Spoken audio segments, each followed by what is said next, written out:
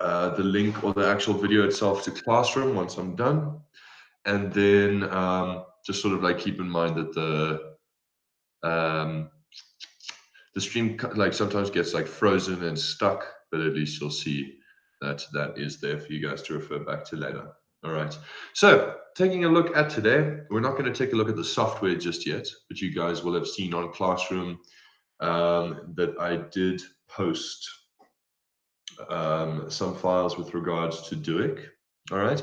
This Duik installer, the DMG file, for some reason uh, for the Mac isn't working. So if you've got a Mac, I have edited the post to give you a link, and that will take you straight to uh, Rainbox Lab, which is where you can get Duik and simply hit download. All right, so we can have that installed for next week. The tutorial that I posted for you guys. Um, uh. Oh, it doesn't seem. Yeah, okay. I gave you guys the the tutorial, the installing Universal, so you can just follow that. All right. Cool. So taking a look at what we're going to look at today, some body mechanics.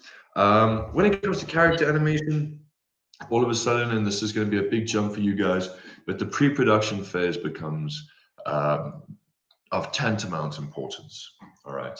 So when it comes to the planning, when it comes to the asset creation, the planning in terms of what is going to move when and how, uh, what is going to be visible, what isn't, that is all going to be um, very important factors to take into account.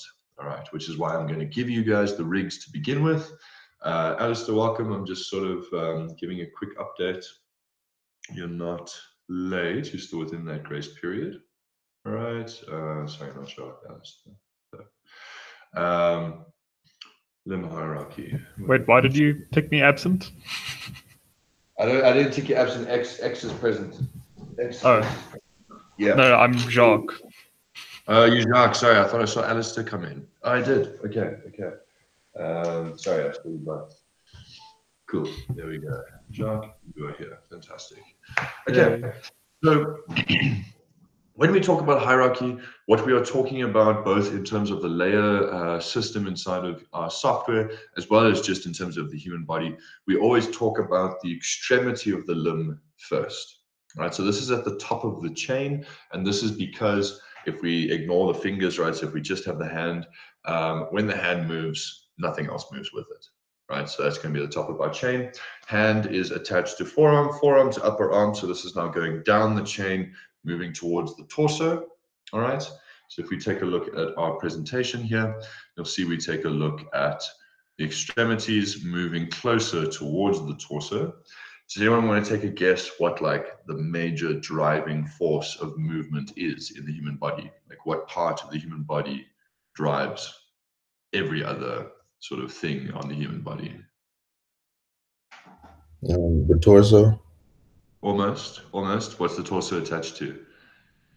the spine. To the head. The spine, but the spine comes down to the hips, right? So if you sort of put your hands on your hips, you can still bend yourself from side to side without moving your hips. Move your hips, everything else moves with it, right? Dancing's all in the hips, which is a lesson I still need to learn. Um, next, we have the torso, as I've said, and then it comes down into the hips. All right. So at the end of the day, every limb chain is going to end at the hips. All right. Uh, the hips will typically be the only layer um, in terms of like the body parts that is not parented to something else, unless there is, of course, like a null that's busy driving it. Okay. So as long as it all comes down to the hips, we're good.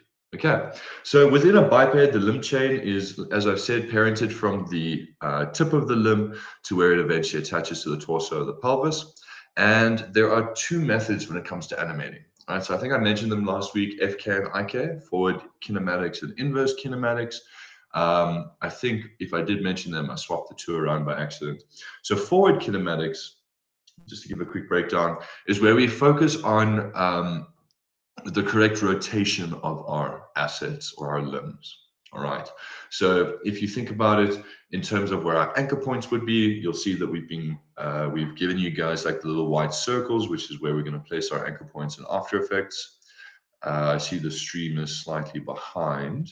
If it sort of cuts out, if you sort of can't see anything that I'm doing, then just give me a shout so I can make sure not to uh, leave you behind. All right.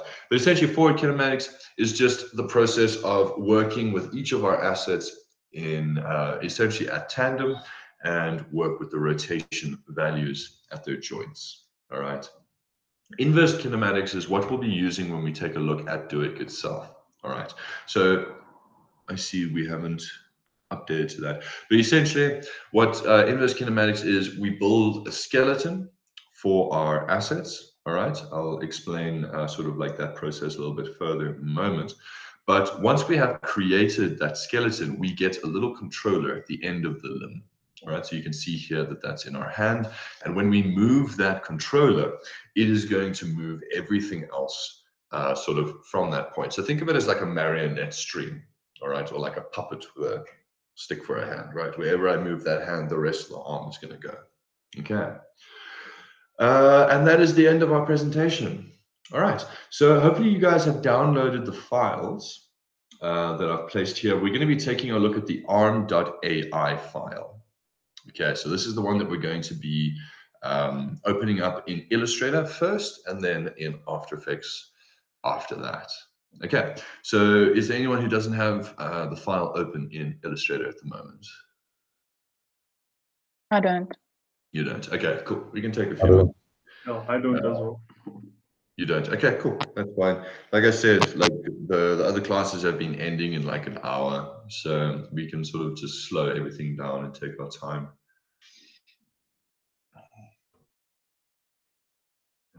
Angela, is that a new nose stud or is that old?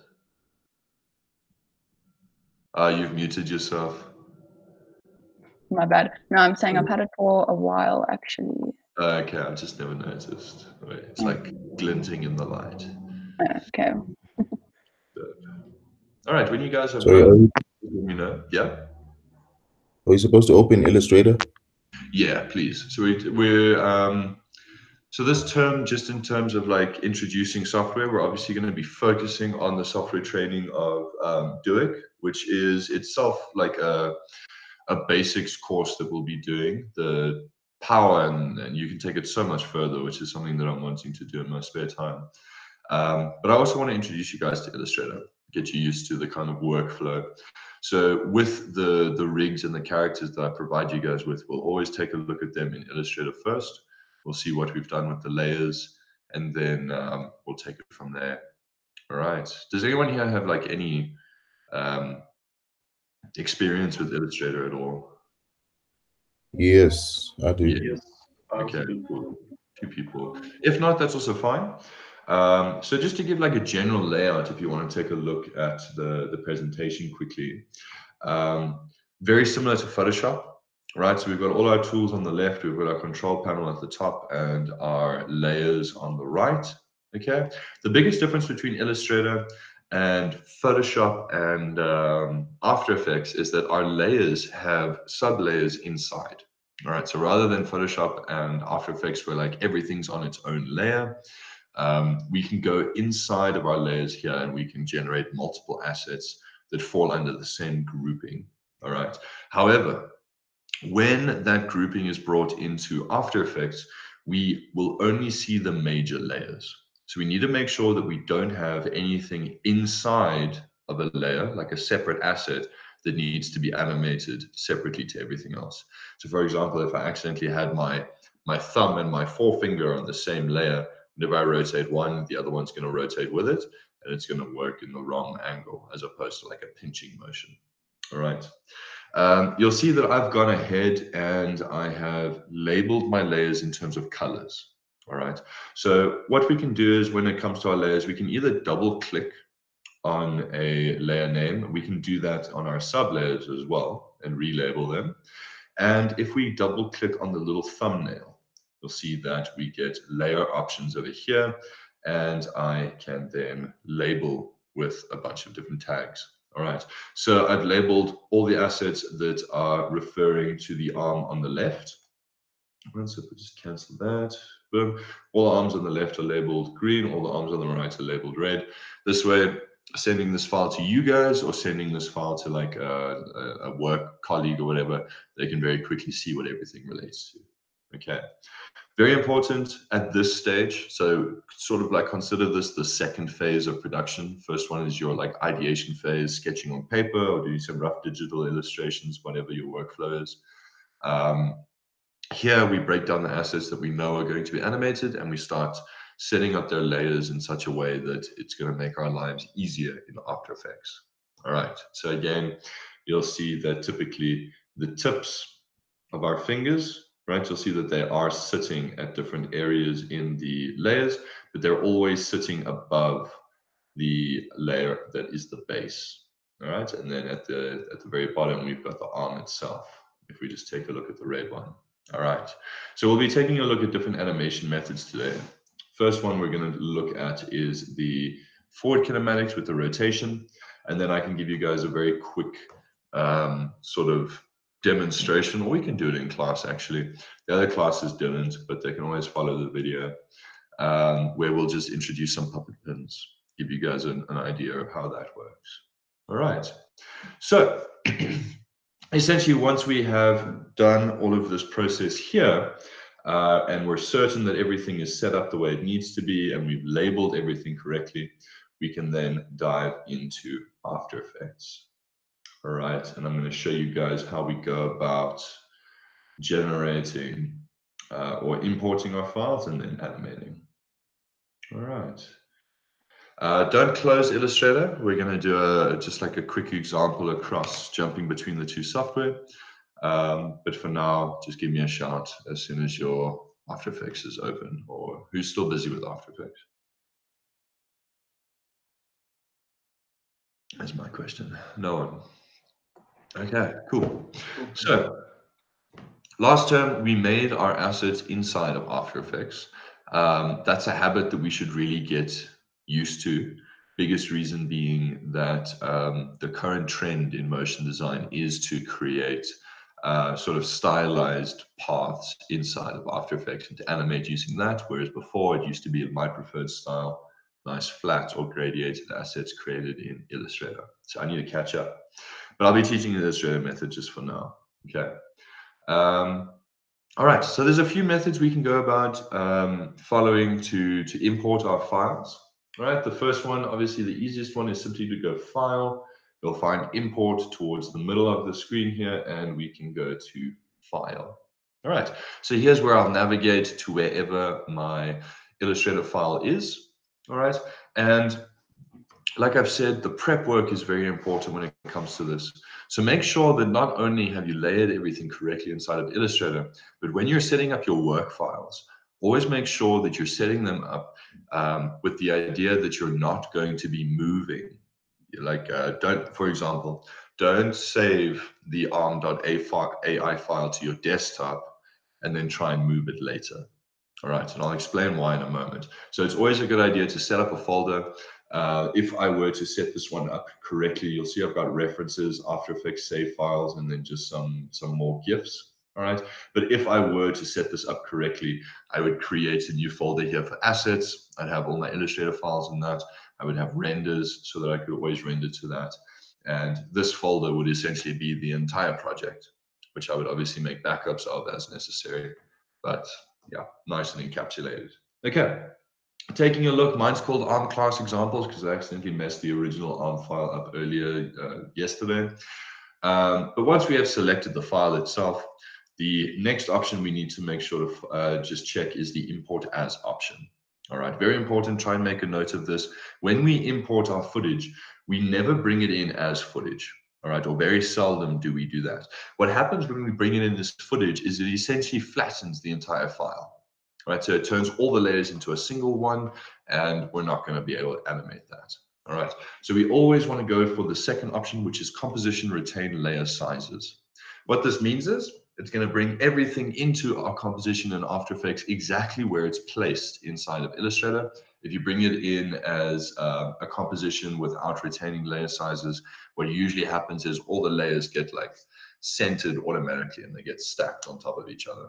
So composition retain layer sizes, open, and then we can take a look once the stream catches up. You guys will notice that once you've imported it something has changed inside of your project panel. all right?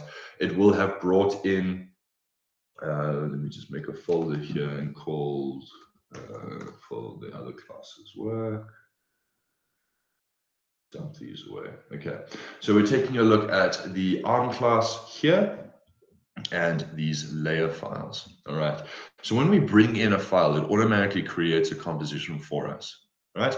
And all I need to do is simply double click on that composition in the project panel, and it will open it up inside of After Effects exactly the way it should be. All right. You'll see that our layers are set up in the exact same way they are in Illustrator. Okay, if I can just move that.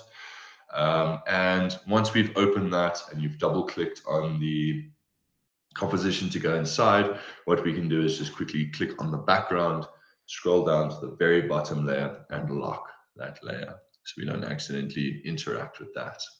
Okay, cool. Taking a look at just these layers over here.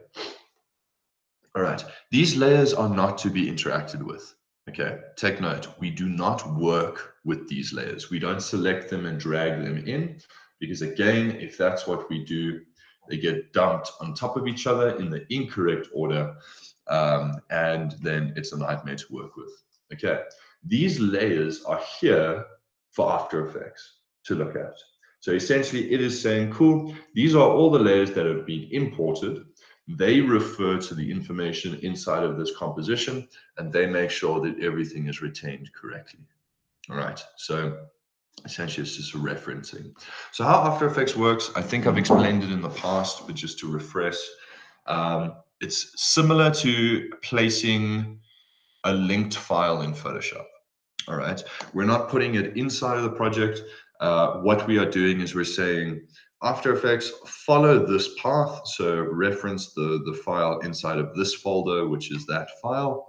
Um, and if I try and copy that file, if I try to, for example, let me just jump across here. Let me rename the file if I can. All right, so let's say that's, all. let's copy it across quickly. So let's put it in, uh, just in a new folder, right? Um, so what happens when I move the folder, right? All of a sudden in After Effects, it's gonna give me missing file footage and it looks scary as fuck. All right. Yeah, I see the eyebrows rise. It's terrifying. If you get this, like, and you don't know what the fuck is happening, your heart stops. All right. But you'll notice inside of the layers here that all of a sudden After Effects can't find what it's looking for. Okay, because I've moved that file into another folder, which is why it's very important we set everything up in our filing system correctly at first. All right, so we don't want to relabel anything. We don't want to be moving any of it. Thankfully, this is fixable right? So even if all of this had been animated, it doesn't lose that information. It just doesn't know what it's showing anymore. Okay, so all I really need to do, and I do have a tutorial on the channel that goes about replacing missing footage, but all I need to do is go to replace. I can go to my file wherever I've moved it, and I can say, oh, here's the file. All right, just reference everything according to this one. I don't need to re-bring it in as composition or anything like that. I'm simply pointing towards after Effects. And you can see here that some of my pinkies, for some reason, I might need to go and replace these um, manually like so. And we're just going to choose a layer here and we'll say pinky three. Um, all right, so yeah, I have now nice and broken everything. So, excuse me, I will just quickly delete all of this and I can just simply bring it in and I can show you another import method. All right, so another way we can go about importing a file is by double clicking inside of our project panel. Um, that will then also bring up the, uh, the, option there and I can again choose composition with 10 layer sizes. Alternatively, I can drag the file in. All right, so whatever like your, your work preference is, let me just grab this one here, drag it in. Here, you'll see we've got a slightly different interface. This is simply because we're now inside of After Effects itself and I want to import it as a composition and I want to change it down to layer size. So again, the exact same settings, just two different buttons. We'll say okay and dive into that composition. All right. Good so far, no questions. Cool. The next step that we're going to do, so just sort of taking a look, let's lock that background again. To make our um, lives a lot simpler, what we are going to do is we are now going to uh, label the colors inside of um, After Effects. So unfortunately, that doesn't um, move across from Illustrator. Uh, we don't get those color tags. So what I'm going to do is I am just going to quickly, we're going to be working on the arm here on the left. All right. So I'm just going to grab the pinkies or like the, the furthest points um, of the fingers. All right. And I'll just quickly click on the color tag here and I'm just going to make those purple. All right. The rest of them, so the base of the fingers, uh, the thumb, and then the forearm and the arm top, I'll just make those orange. All right. So the reason why I've separated the, the sort of like the, the, the far points of the fingers from the bases is just to break up the solid block of color. All right. So that um, is just to help me navigate those files. All right. So we're not going to need the arm on the right just yet. You'll see that that refers to all those layers. But just because we're not going to use it straight away does not mean that we can skimp out on the prep work. So I'm going to select all of those fingertips. I'll label them a different color. So I'm just going to go with yellow. And then actually really don't like yellow. Let me go for something a little bit different. Okay, so now these are set up. And when I get to this, we are going to be ready for animation. Okay. However, because we don't need them, we don't necessarily want those layers just taking up real estate in our timeline. All right. So the first thing that I'm going to do is I'm going to turn the eye off for that. All right. So now it's not going to be on screen. It still exists, but there's nothing for us to accidentally interact with. All right. The next thing that I'm going to do is directly to the right of the name of the layer. You'll see that we've got that little mushroom figure, right? So we've taken a look at making layers shy before. So I'm simply just going to click on that little button. When the stream catches up, you'll see that the little figure or the mushroom drops below the ground. All right, or the little line. Uh, and what that means is I've made this layer shy. So you can see here in the stream that I've only got like the little tip of the head sticking out. It's kind of like a Diglett. All right. Uh, and then lastly, just to get rid of these, I can then click on the apply shy at the top of my timeline here. And when I click on that, it will turn blue and my layers will disappear. All right, so they still exist, they're just not visible. We all on the same page? Somewhat. Okay, cool. Yes. Yes, dope. Um, okay, so the next phase in our planning, like I said, the planning is probably what's going to take some of the most time simply because we're not used to it. But what now needs to happen is we need to move our anchor points into the correct position and we're going to test every step we go. The reason why we're going to test, and I'm not even going to show an example because it's an absolute nightmare and an absolute shit show, but if we mess up any of these phases, um, here now, in terms of the forward kinematics, very simple to fix. Uh, we can always just go and adjust our keyframes or go back and change where the anchor point is if we've made a mistake.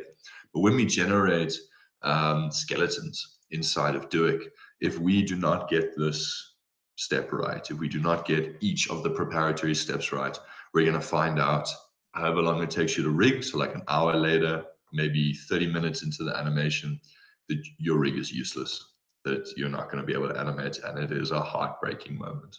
All right. So, what I want you all to do, please dive inside, grab your uh, pan behind tool. Shortcut for that is Y, if we remember. And on the upper arm layer, I'm going to place the anchor point in that white circle, and that's going to act as my shoulder. Selecting my lower arm, I'm going to move my anchor point into the elbow all right. And then the fingers we're going to treat exactly as we would with our presentation. So we've got knuckles, and that is where our rotation takes place. So just moving the anchor point of the fingertips, they don't have to be in the corner. We just want to make sure the anchor point sits at the knuckle so that when we rotate the finger, we don't have it rotating from like a random position in space. Okay. Now the next step here is to go about testing everything. So you can either do this while you're moving your anchor point, or you can do this later down the line. But what I'm going to do is now I'm going to grab every single piece and I'm going to rotate it. All right. And very important this step because it's going to give us an exact idea of uh, sort of just making sure that everything is working. All right, so my thumb is there. This thumb is a little off. That's fine. Uh, and this is, like I said, just making sure that for the skeleton, we're not going to have any issues later down the line. Okay. Cool. Have we all moved our anchor points? We still busy with that? No one? Great. We all tested? All right, the test, do not skimp on the test. Make it a habit. Like I said, fucking this up will, sorry for the airplane, uh, screwing this up is going to cost you later down the line. All right, so the next thing is we are going to parent our layers correctly. Okay, so what I tend to do is just start at the bottom, right? So this is our limb hierarchy, as I've said. So from the bottom moving upwards is us moving along our limb chain towards the extremities. So I know that my upper arm is not going to be attached or parented to anything.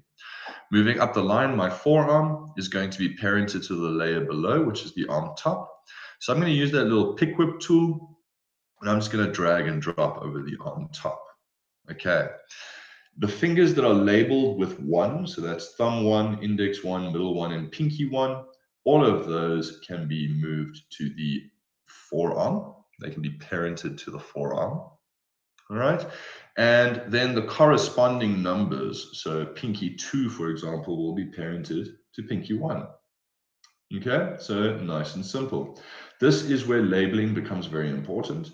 If you guys can imagine working with layers that are just layer 1, layer 2, layer 3, this would be a bit of a bit of a shit experience. Okay. Then it's okay if you're still busy doing that. The next phase is again another test. All right, so I'm going to make sure that the parenting is working correctly. So when I move my forearm, my fingers move, but my upper arm does not. All right, my fingertips will work. Um, you don't have to like hit R and go into the rotation. We have the rotation tool at the top of the screen. Shortcut for that is W, just in case you guys don't know. I can check there. My fingertips are working the base of my fingers when I rotate those will then move my fingertips. All right, and once I know that my rig is working, I can then begin to animate. Right, we all good so far? Is anyone still busy? Um, I'm unable to kind of do both at the same time because I'm on my laptop at the moment. So kind of like switching between. I do. I have another computer downstairs. I just can't Google Meet on it or like speak because it has no like sound system. But I can maybe take my laptop down there and then kind of work on both for next time. Yeah, that's what I'm doing. So you'll see I'm I'm presenting from like one machine and then Yeah. calling off of another. So you guys are welcome to do that. Even if you just like do the call off of your phone. Obviously, watching the tutorial might be a little bit hard, um, but at least you'll have like that Yeah. information there. Okay. Um, is there anything that I need to re-explain? Did you miss No, no, no, no, no. That's okay. I'm kind of understanding what's going on at the moment, so that's cool. Good, good, good, good. Thank you. All right. All right, now we can actually work on the animation. Such a bad headache. Um, so what we're going to be working with is we're going to break this down. The best way to eat an elephant is to uh, just take it one bite at a time. Okay, so I'm just going to quickly import the reference file that we're going to be taking a look at. So you'll see on the classroom that I did also give you, I gave you a, a rigging methods video. All right, so this just gives you an idea that the difference between two different softwares, which is Duik and Rubber Hose. All right, Rubber Hose is kind of industry standard at the moment, but unfortunately, it's it's a little bit pricey. Um, whereas uh, is completely free. All right. Uh, the next video is called week two dash IK underscore FK. And if we take a look at that, that is giving us the example of um, how our motion is going to work. So you'll see we've got like a little bit of a snap motion going on. Okay, so I'm going to import this the same way that you guys are going to be bringing in your video files. Um, we can bring it in as footage. All right, if we make a project, it's going to make an entirely new project out of uh, out of this, so we would exit and have to save this one. So I'm just going to say OK, and it will make its own composition, as I said. And now I can scrub through this as necessary to see what happens. All right. So what I'm going to do to make my life easier, as I said, is I'm going to start with the upper arm, and then I'll move to the forearm, and then finally I'll do the fingers. All right, so layer by layer. And just for um, just give you guys like an idea of how we go about doing this, for example, is I'm going to draw a mask. I'll introduce you guys to masks uh, next term, maybe later at the end of the term. And I'm just going to create like a cutout so that all I see here is just the rotation of that upper arm. All right, so if I scrub through here, I can see that it moves up, it moves down, and then it comes back to rest after a small like overshoot back up. Okay, so I am going to turn off everything that is not my upper arm simply by clicking the eye. I'll grab this and hit R for my rotation and I can create a keyframe for that. And I'm going to position it sort of at a 45 degree angle so that I can start my motion from there. Okay, so yeah, you guys can follow along with that. Okay, just give me a shout if you guys get left behind. I know jumping back and forth between the two is a bit of a mission. Um, so I don't necessarily want to block out according to the seconds anymore. That's kind of just because in this motion, uh, it's not uniform. It's a little bit easier for me to kind of just get the timing right to begin with. Uh, but we can obviously always move our keyframes. All right, so I think, yeah, let's do that as an exercise for everyone. We'll jump to keyframe number one, or second number one rather, and I am going to animate my arm rising.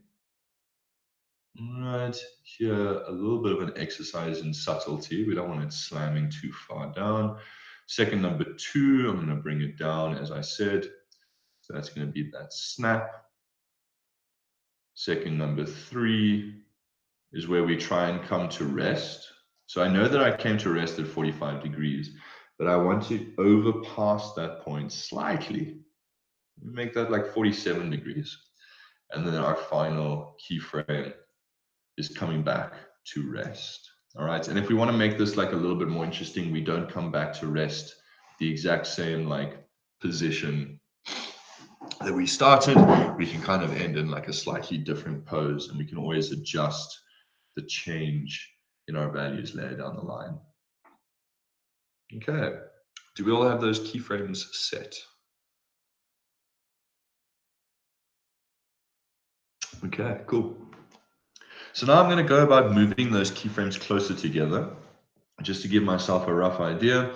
Um, if I take a look at the footage, like I said, it sort of rises at a fairly slow pace.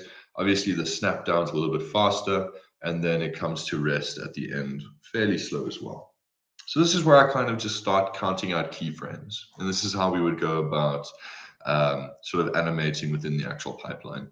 So I would say, for example, that I think that that motion takes about, uh, my keyframe, oh, there we go.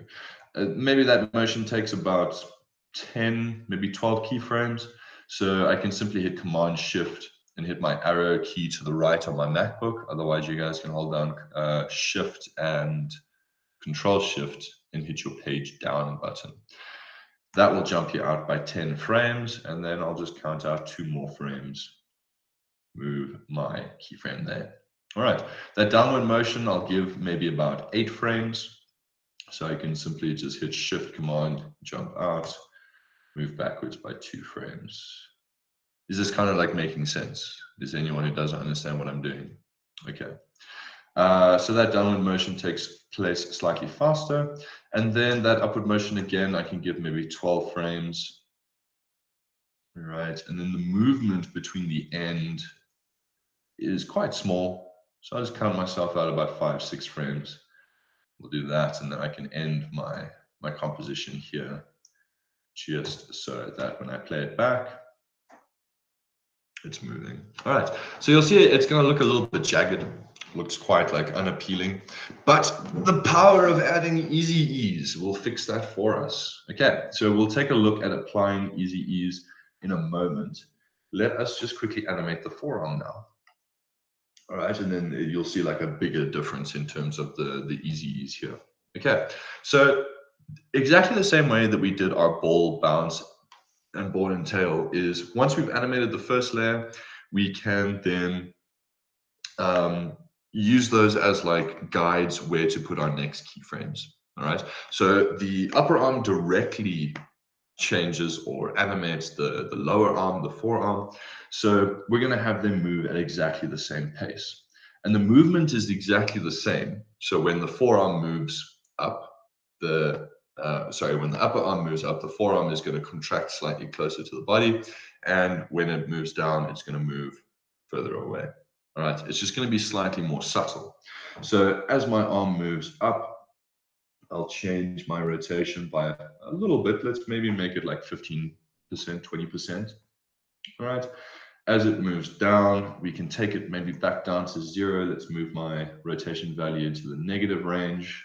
Let's make that like minus 15, sticking to the same numbers. Um, here, we started off, I can simply copy and paste my beginning keyframe. Started off at zero, so I'm going to bring it slightly beyond zero. Uh, so maybe like five, six degrees of rotation, and then I'll bring it back down. Maybe bring it down to like negative five. Okay. Cool. So again, just to make sure you guys are like aware of what it is that I'm doing. All right. No, no one getting left behind. Fantastic. Okay. So once you've done those two motions, what you can do is you can just select all of those keyframes and you can apply easy ease to those and you should see that it'll be looking a lot better. Okay, so let me do that myself there and there. Okay, so yeah, that's looking a little bit better. So the reason why I've now applied easy ease to this rather than blocking out the fingers next is because especially for the arm, we we know that like human movement is quite fluid, right? So it's not all moving at exactly the same pace. Um, and our fingers are are going to be driven by the fluidity of that motion as opposed to the mechanical sort of thing of the hands. This is kind of for this exercise how we go about introducing a little bit of um, maybe a bit of realism just in terms of how the fingers would work, but also a little bit of exaggeration to make it a little bit more appealing. All right, so I've applied easing to that. And then I can actually lock my forearm and uh, upper arm layer so I don't actually work with those. And I can turn all my fingers back on.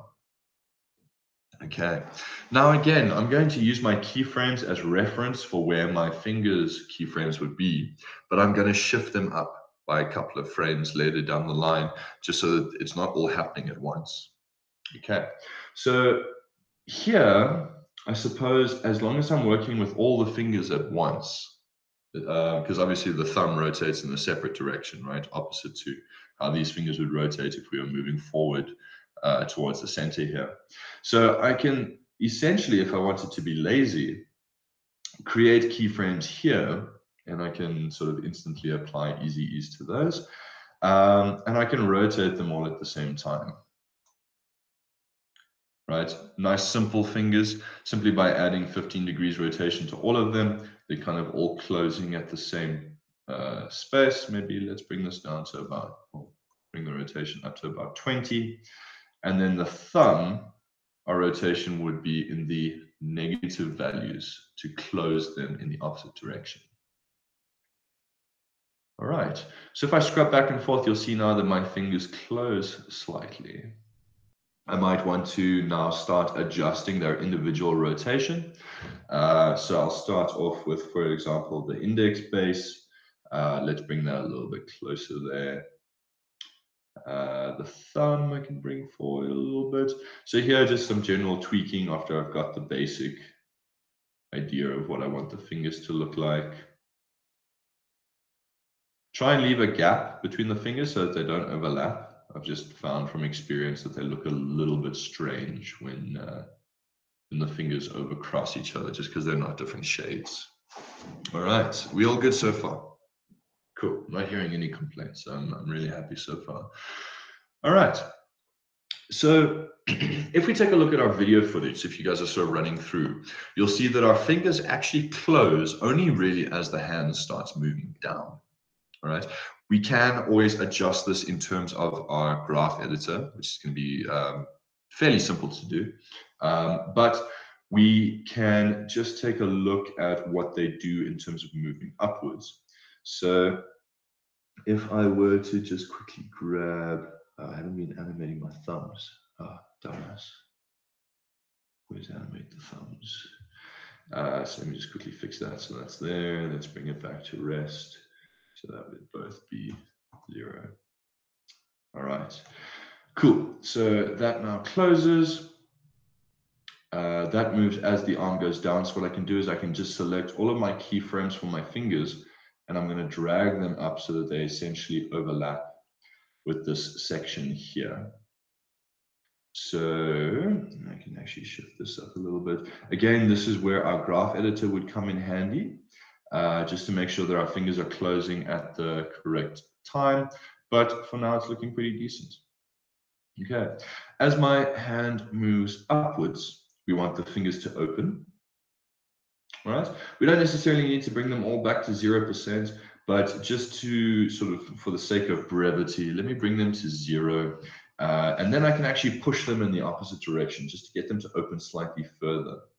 So I can push thumb. The thumb's a little bit difficult um, just because it only has, well, I mean, like we know for a fact it only has those two digits as opposed to three, even though we're only animating two. I don't know, I'm rambling. I think it's making sense. Um, so I can open that up slightly wider as the movement takes the fingers up. And then as we come down to rest, this is when I can bring them all to zero. So we've overshot and now we're coming to rest. And if I play that back, I've got a fairly decent representation of our footage. Obviously, stream doesn't want to show it, but yeah, it's looking fairly okay. Um, and then the next part would be jumping into the graph editor and just fixing up the motion so that our fingers um, sort of close at the right time. We can also then adjust the, the actual rotation of the upper arm and the forearm. Um, yeah, you guys ready to do that? just take a quick squiz at what it would look like inside of the graph editor. Um, so because the, the upper arm and the forearm move at exactly the same rate, we can select those keyframes together, all right, and then move into the graph editor because whatever we do to the one, we're going to do to the other. All right, so I'm going to right click here, just make sure I'm editing my speed graph, not my value graph. Okay, and here we can just run through the motion. So as it goes up, uh, that's going to start slightly slower. All right, so let me just zoom in here so we can see. Um, so we're going to just shift the arcs slightly. We don't want to snap, right? We don't want the arm to to really uh, snap, even though it does kind of actually match the motion. So let's take a look at what we can do here. Um, we'll bring in the snap like so. Uh, and I've explained to you guys in the past, but uh, when we start getting to this sort of level of animation at this stage, it really is just having a good understanding of the software, right? So which direction am I going to pull the peaks of my speed graph um, and then playing around with it.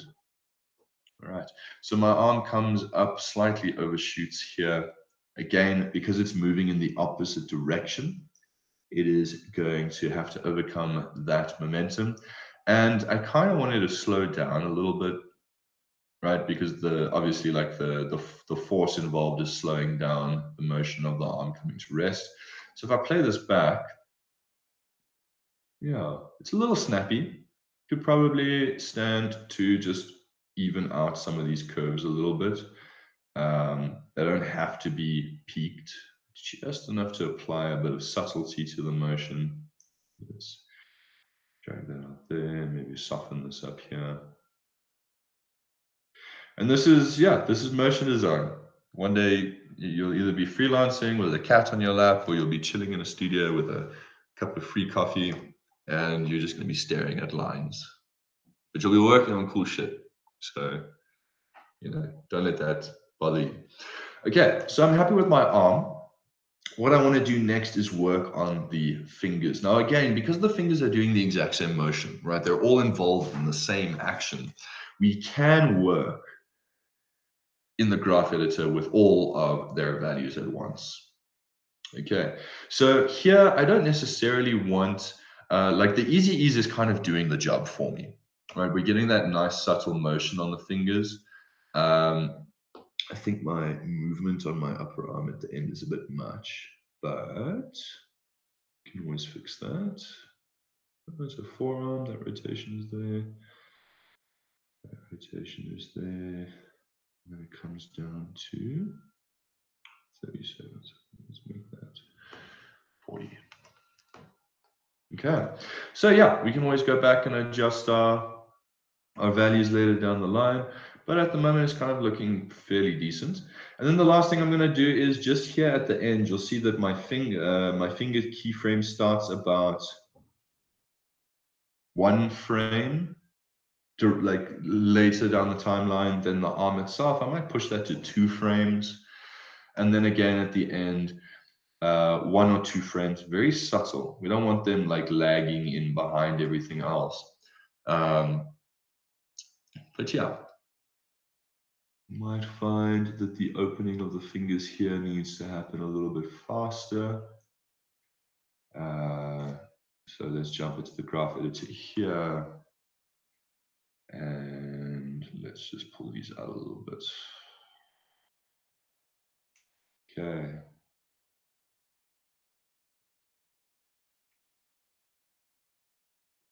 Let's see. Yeah, it's working a little bit better.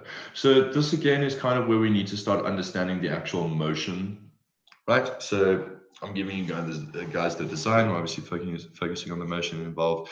Um, this is where our reference sort of comes in handy, right? The more accurate our reference, the better. Um, so we'll sort of just discuss that after the class. But for now, it's just simply applying, right? We know that overlapping action, things look a little bit better when it doesn't all happen at once. We apply the easing so that it doesn't sort of like, again, all happen at once. Um, just layer by layer, refining until it's as good as we can get it um, with the deadline in mind. Okay, are we ready to move on to the other arm? I just want to do a quick demonstration of the puppet pin tool. All good. Cool. Okay, so what I'm going to do is I'll just hit Command or Control A to select all of them. And I can either click the little drop down to collapse them, or I can hit U to collapse them. Remember, U is the shortcut to bring up all the keyframes on a layer. Hitting U will collapse them as well. Okay, so we're done with this arm. We don't necessarily, or we, we don't need to work with it any further. So with all of those layers selected, I'm going to lock them. And I'm just going to turn off my little shy button here uh, and turn the eyes back on for my other arm. I can see that. Okay. Um, so now I want this arm's layers in my timeline. So I'm going to just unshy them I can simply do that by clicking and dragging down over those little mushroom buttons. And then I can apply shy to my top arm. Thankfully, or the, the arm we've just worked on. Thankfully, the shy button works regardless of whether the layer is locked or not. And I'm going to turn on the shy feature. I can even make my background shy. And there we go. Now we've got all the layers. Cool. Who remembers what we need to do with this face? But how do we what, what what's our work progress from here what do we do where do we go no i'm brave enough that's fine again um, i'm gonna guess if i remember correctly you have to test the anchor points or is that only a bit later second step. So we need to Okay. move the points to the correct position first, right? Okay. Uh, so zoom in here. So for this arm, you'll see that the arm itself is a single layer. Um, so we're going to move that anchor point again to where the shoulder would be. All right, just because we're working with an arm solo now doesn't mean we wouldn't attach it to a character letter. Uh, and I'm just I'm going to test like as I go, just to make my life a little bit faster here. Um, but again, just moving my anchor points to where they need to be. Exactly the same way we would do the other fingers. Uh, so if we wanted to be lazy here, because essentially the exercise would be to animate um, exactly the same sort of reference, although you'll only be animating the forward kinematics this week in terms of the rotation here rather than using the puppet pin tool. Um, cool. Grab all my fingers, adjust their rotation so I can see that they're working great and their anchor points in the right place. Cool. What's the next step? Now it's testing the anchor point. Uh, yes, testing the anchor points, right? So this is where we do the rotation, and then we can move on to the parenting as well. All right, works exactly the same way. Um, all the layers labeled one, so that's pinky one, middle one, um, index one, and thumb one, those can be parented to the arm. The arm is not going to be parented to anything at all. And then the tips of our fingers, we will parent to their respective bases. Okay. All good so far? Hope so. Okay. So the next step is we would now, let me introduce you to, although uh, it's going to be a bit of a mission. Let me see. I haven't done this method in a while. Let me introduce you quickly to the puppet pin tool and we'll see if it works or not. Okay, so the puppet pin tool is the very last tool we have at the top left. It literally looks like a little thumbtack. All right, and we're going to be using the puppet pin tool um, as a method inside of Duik. All right, we change a couple of the core settings. Um, so what we want to do is, I just want to open up my properties panel. So I'm going to go to Window. Uh, let me just make sure that my effect controls is on. So if you don't see a, an effect controls next to your project over here, we can go to Window. We're going to turn on effect controls, which is towards the bottom here, directly under composition. And that's going to open up effects here. So this is where we'll see our puppet pin. All right. So with my pin, again, I'm just going to simply move from the furthest point or the, the closest point to the torso away. And I'm just going to click inside of each of these little circles. And you'll see that when I do, we get little yellow circles uh, sort of chilling there in the center. All right. All good so far. Cool. So you'll see on the arm layer, now that we've clicked with our puppet pin, if I hit U quickly, you'll see that it has made some keyframes for me automatically. So I'm just going to shift those back to the start. Uh, and if I take a look at the names, you'll see that those are labeled as puppet pin one, two, and three. All right. So we may sometimes work with about five or six puppet pins on a layer um, because the pins also allow us to lock like corners into position so that the whole thing doesn't bend. Um, so what we want to do is we're going to relabel these now. Again, the prep process, very important. So position one, you'll see that by, by creating your anchor points from the torso outwards, the puppet pins that are created will then layer upwards, right? So the top of the layer will be the top of your limb hierarchy and uh, sort of furthest away from the body. And then vice versa. So my puppet pin one, I'm just going to call shoulder. Uh, puppet pin two, I'll call elbow. And then we will have the wrist essentially. All good? Cool. So the cool thing now is if you sort of click and drag, you'll see that you can now bend your form which is pretty sick, right? You'll see that our, our edges aren't looking very smooth. I'm going to show you how we would go about affecting that in a moment. So with our puppet pin tool selected, you'll see that I have some options to the immediate right of that. The first one is show mesh. If you click that on, let me try and change this color to something you'll see a little bit better. Um, so with my mesh selected, um, you'll see that it, it, essentially breaks everything down into triangles, very similar as, as like 3D as far as I understand it. Um, and you'll see next to that, we have expansion and density.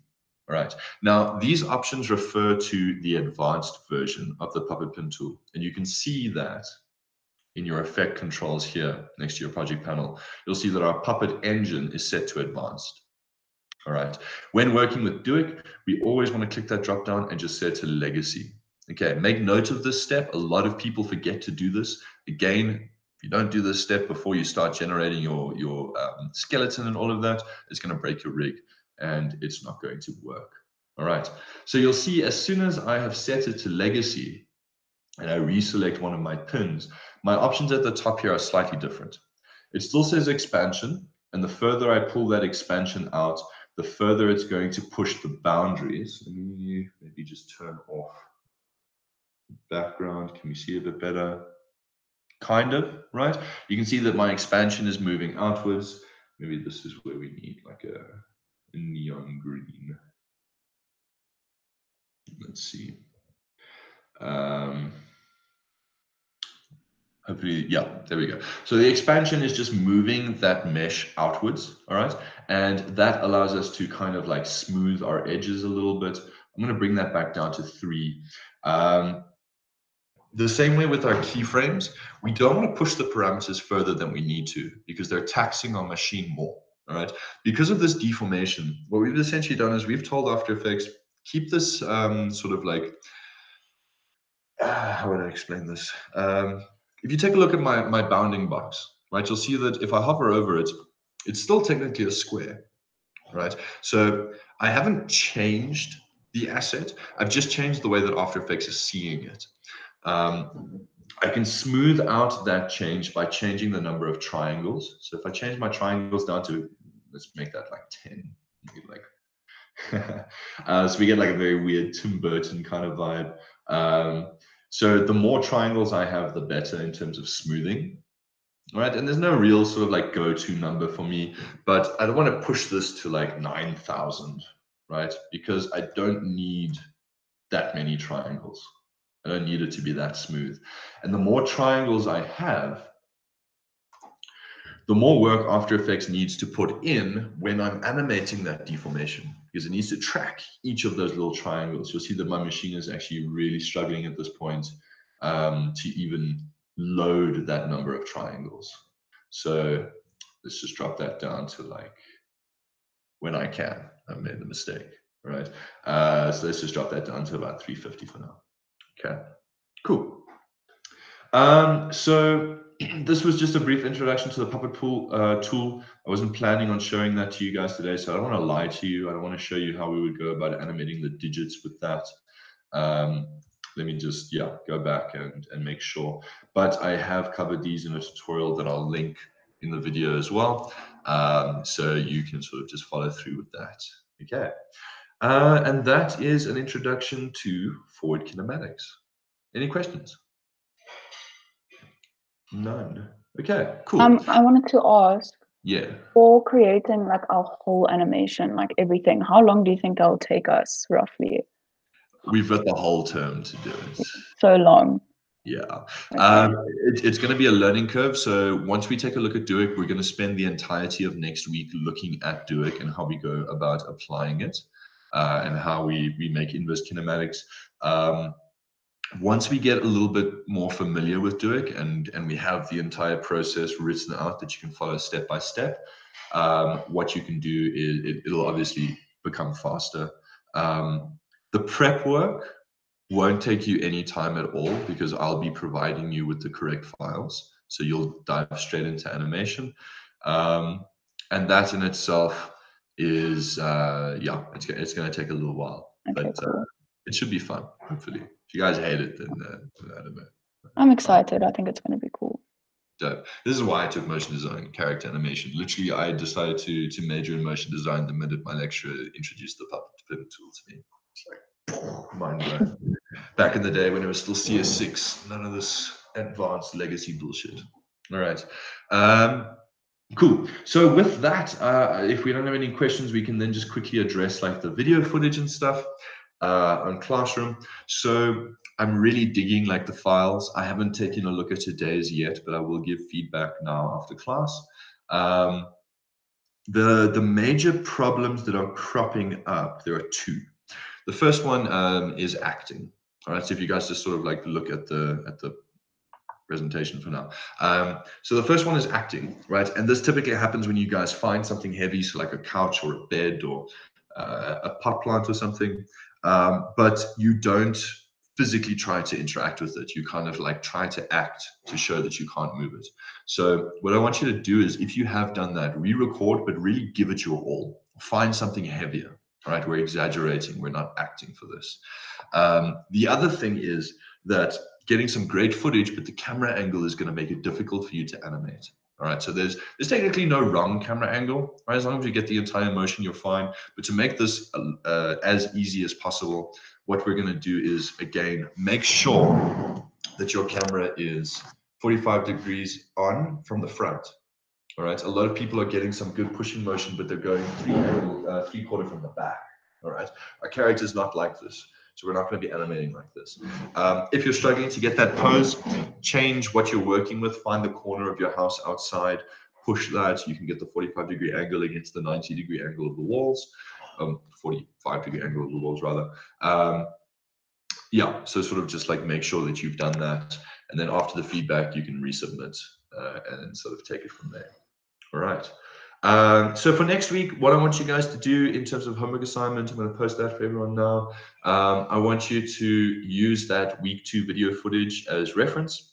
Right, take the ARM file, prep it. You, I mean, you've done all of that now. Just practice animating it essentially. Uh, so animate it from scratch if you can. Um, and then I'll post that tutorial and you guys can sort of just follow along for the puppet pin tool. Um, and we can take a look at that later down the line as well. Okay, there any questions? Well, good. Cool. Then I think we can call it there. If you guys are fine with that, uh, I can stick around if there are any questions, but otherwise I'm going to end the recording here. Um, and then we can yeah, either leave now or take it as it comes.